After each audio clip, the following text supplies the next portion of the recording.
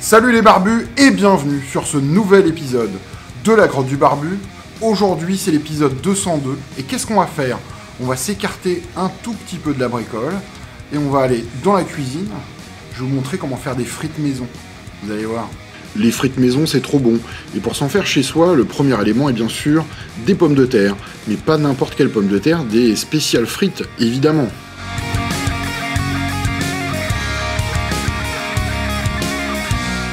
Je prends donc mon Willy Waller 2006 ou mon épluche légumes et j'épluche mes patates. Rien de bien exceptionnel ici ou de super impressionnant, j'épluche juste les patates.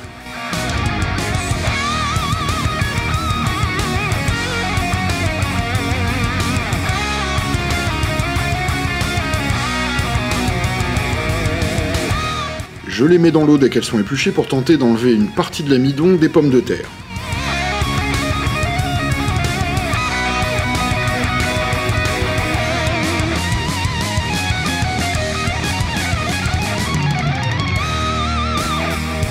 Comme dans ma grotte, dans la cuisine, on nettoie pour avoir un espace de travail propre et agréable.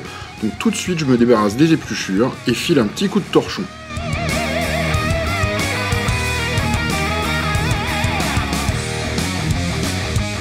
Maintenant que les patates sont épluchées, je vais les couper et ici je le fais à la main.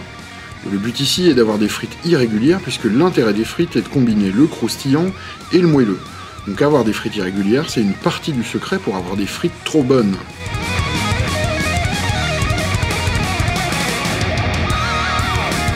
Je les coupe et les remets à tremper et continue avec la patate suivante jusqu'à couper toutes mes futures frites.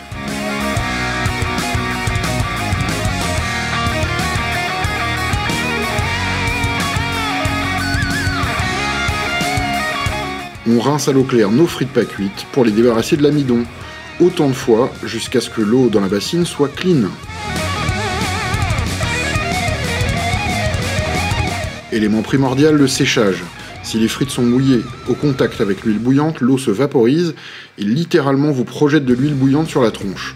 Donc, on sèche bien ses frites.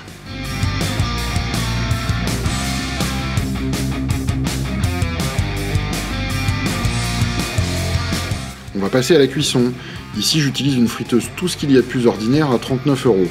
Je chauffe l'huile à 170 degrés pour la première cuisson pendant environ 5 minutes.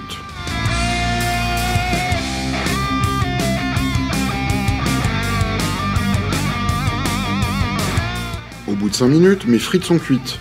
En tout cas à l'intérieur. Je les sors, les égoutte un peu et augmente la température de l'huile à 190 degrés pour les préparer pour leur deuxième bain.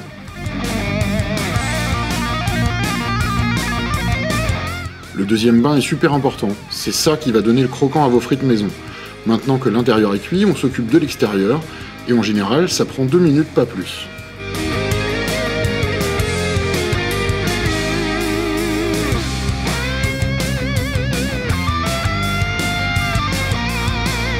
Un des seuls dangers de tout ça, à part l'huile bouillante, bien sûr, c'est l'odeur. Donc on met la haute en marche, on ferme la porte de la cuisine, on ouvre les fenêtres, etc.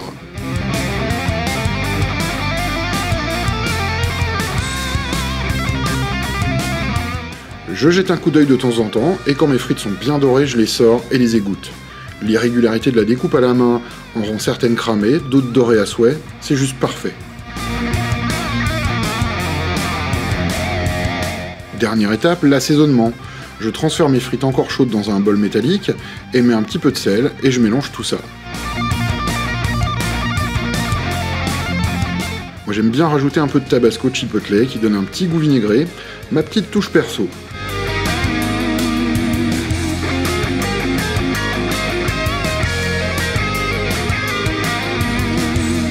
Et voilà le repas des champions pour un dimanche midi. Un petit sandwich jambon salami salade avec des frites maison. Un vrai régal.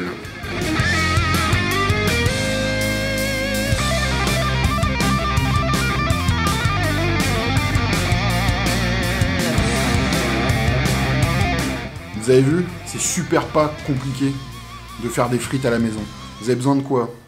Une friteuse à 39 balles, de l'huile, un Willy Water 2006, un couteau et des patates. Et franchement, c'est giga bon.